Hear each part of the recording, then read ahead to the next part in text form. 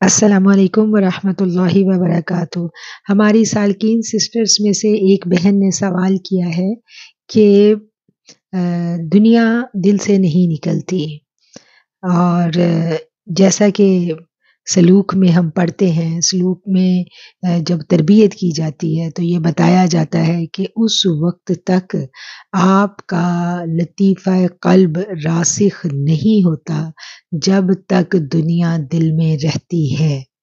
यानी कि फ़ला खौफ़ुन अलैहिम वला हुम यहज़नून ये कैफ़ियत उस वक़्त तक पैदा नहीं हो सकती जब तक दुनिया की मोहब्बत दिल में रहे और जब तक दुनिया की मोहब्बत दिल में रहती है, हमें अपनों के दिए गए दुख बहुत ज़्यादा तड़पाते हैं। दुनिया में कुछ छिन जाए तो हम परेशान होते हैं और दुनिया हमें हर वक़्त क्या कहना चाहिए, अपने रवैयों से परेशान रखती है। तो इस कैफ़ियत से कैसे निकला जाए और हमें ये कैसे मुमकिन है कि हमें ये पता चल सके कि हमारा पहला लतीफ़ा जो है वो रासिख़ हो गया है। तो बहुत ज़बरदस्त बड़ा ये एक बारीक नुक्ता है जो इस बहन ने अपने इस सवाल में रिकॉर्ड करके मुझे भेजा है।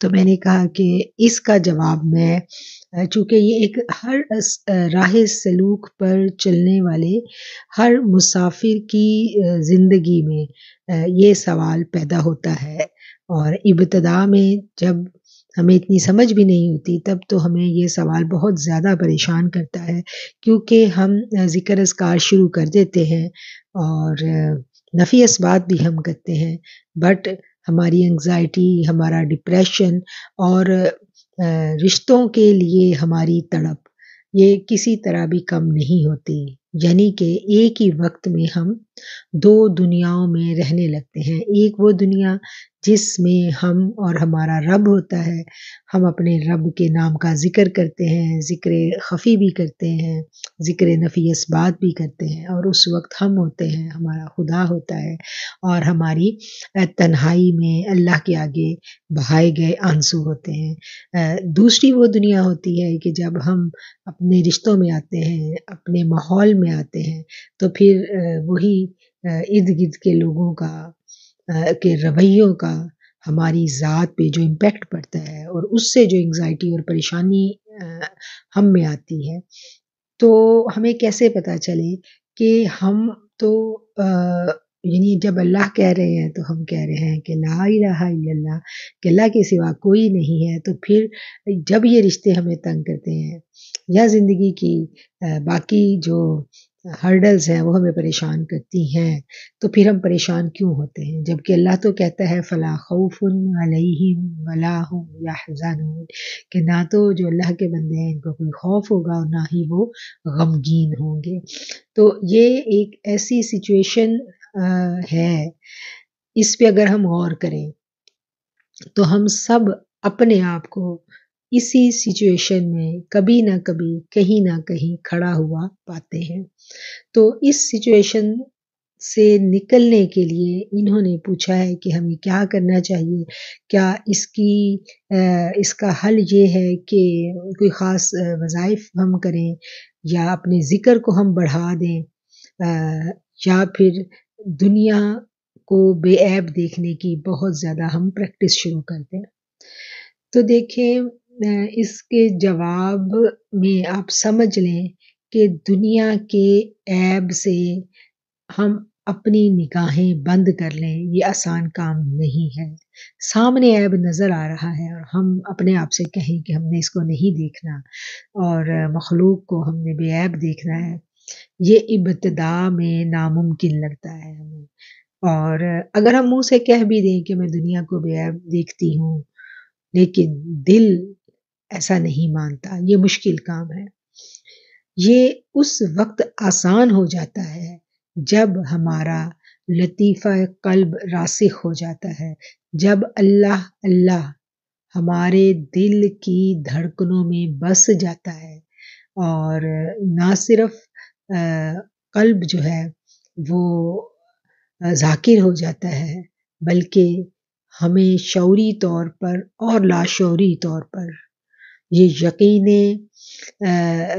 ये क्या कहना चाहिए कि ये एक बिल्कुल यकीन की कमाल कैफियत जो है वो हमें हासिल हो जाती है कि अल्लाह अल्लाह ही है, सिर्फ़ अल्लाह ही है। जब हमें ये पता चलता है तो फिर हमें ये पता चलता है कि ये जो रिश्ते या जो नाते हमें दुख तकलीफ़ दे रहे हैं या हमें तकलीफ़ देने का सबब बन रहे हैं या मोस्टली जो ख़वातीन मेरे पास जिनके सवाल आते हैं, वो इन्हीं रिश्तों से आज़माई जा रही होती हैं। सबसे पहला रिश्ता तो अज़वाज का रिश्ता है। तो कोई भी रिश्ता उस वक्त तक कोई फ़र्द दूसरे फ़र्द को तकलीफ़ नहीं दे सकता, जब तक अल्लाह की इज़न पूरी ना हो जाए। अल्लाह की इजाज़त के बगैर तो मैं कहती हूँ कि कोई एक निगाह भी बुरी आप पर नहीं पड़ सकती। जब ये बात हमें समझ आ जाती है और ये बात कब समझ आती है? जब अल्लाह की पहचान हो जाती है। अल्लाह की इबादत सिर्फ़ अल्लाह की पूजा नहीं है कि हम अल्लाह की पूजा करते रहें और हम गिन गिन के तस्बीहात करते रहें तो बस हमने बड़ी इबादत कर दी। अल्लाह की इबादत पहचाने बिना नामुमकिन है। जब अल्लाह की पहचान हो जाती है तो फिर सिर्फ़ और सिर्फ़ अल्लाह रह जाता है। सिर्फ़ और सिर्फ़ अल्लाह। जब सिर्फ़ अल्लाह रह जाता है तो फिर क्या है? फिर हर तरफ़ अल्लाह ही अल्लाह होता है। फिर अल्लाह के सिवा कुछ दिखाई नहीं देता। फिर दुख और रोना उस दिन आता है, जिस दिन हम अल्लाह का ज़िक्र करने बैठे और हमसे ज़िक्र हो ही ना। फिर इंसान एंग्जाइटी में उस वक्त जाता है, जब इबादत की तौफीक छिनने लगती है, जब इबादत में जी लगना बंद हो जाता है और जब इबादत करें भी तो वो महज ज़ुबानी अदायगी रह जाती है, कैफियत ख़त्म हो जाती है तो फिर दुख उस वक्त होता है। फिर रवैयों पर दुख होना खुद ब खुद ख़त्म हो जाता है। ये अल्लाह के नाम का एजाज़ है कि जब ये दिल की धड़कनों में बस जाता है तो फिर खुद ब खुद आप उस सिचुएशन में अपने आप को महसूस ही नहीं करते हो। फिर आप कहीं और होते हो। यहाँ जो भी आपके आपके इर्द गिर्द हो रहा होता है, वो आपको उस तरह से मुतासर नहीं कर रहा होता। अल्लाह आपके दिल को उन रिश्तों से, उस सिचुएशन से बेनियाजी दे देता है। ये सिर्फ़ और सिर्फ़ तभी होता है जब दिल की धड़कनों में अल्लाह अल्लाह बस जाता है और ये अल्लाह अल्लाह कैसे बसता है? इसके लिए हमें मराकबात जो हैं वो बहुत ज़रूरी हैं करने। हमें डेली लाइफ में अपनी आदत बनानी है कि हम कुछ देर मराकबा करें, कुछ देर ज़िक्र खफ़ी करें और उसके लिए फिर नेक लोगों का साथ बड़ा ज़रूरी होता है। जो इस राह के मुसाफिर हैं उनकी मैत बड़ी ज़रूरी होती है। तो इसका जवाब मेरा ख्याल है कि मैं समझाने में कामयाब हो गई होंगी कि सबसे बुनियादी चीज़ इसमें क्या है कि अल्लाह के साथ ताल्लुक़ मज़बूत करना और अल्लाह के साथ ताल्लुक़ मज़बूत करने के लिए पहला स्टेप ये है कि डेली कुछ ना कुछ वक्त सिर्फ़ अल्लाह के लिए मराकब होके बैठना और तन्हाई में बैठ के अल्लाह का ज़िक्र करना, लिसानी ज़िक्र भी करना और ज़िक्र खफ़ी भी करना, अपने दिल की धड़कनों में अल्लाह का नाम बसा लेना। जब हम ये मराकब होके बैठना सीख जाएँगे, ज़िक्र खफ़ी पर टाइम लगाने लग जाएँगे तो धीरे धीरे क्या है कि दिल से दुनिया निकलती जाएगी और जब जब दुनिया निकलेगी, अल्लाह का नूर भरेगा। और जब अल्लाह का नूर भर जाता है, कल्ब रोशन हो जाता है, कल्ब जो है वो जाकर हो जाता है तो फिर दुनिया तकलीफ़ नहीं देती। ठीक है? तो इसके लिए बस यही प्रैक्टिस है जो की जाती है और ये तीन बातें हैं। ये तीन बातें पूरी हो जाएँ तो फिर क्या है कि फिर ज़्यादा वक्त नहीं लगता, कामयाबी होना शुरू हो जाती है। पहली बात याद रखें कि मराकब होना, डेली कुछ ना कुछ वक्त अल्लाह के लिए निकालना, उस पर अल्लाह के लिए निकालना कि यानी इस तरह की इबादत जिसमें सिर्फ़ और सिर्फ़ अल्लाह अल्लाह के नाम का, अल्लाह के इसमें ज़ात का तस्वुर, अल्लाह के इसमें ज़ात का ज़िक्र करना, तन्हाई में बैठ के मराकब हो के और ऐसे लोगों से ताल्लुक जोड़ देना जो इस राह के मुसाफिर हैं।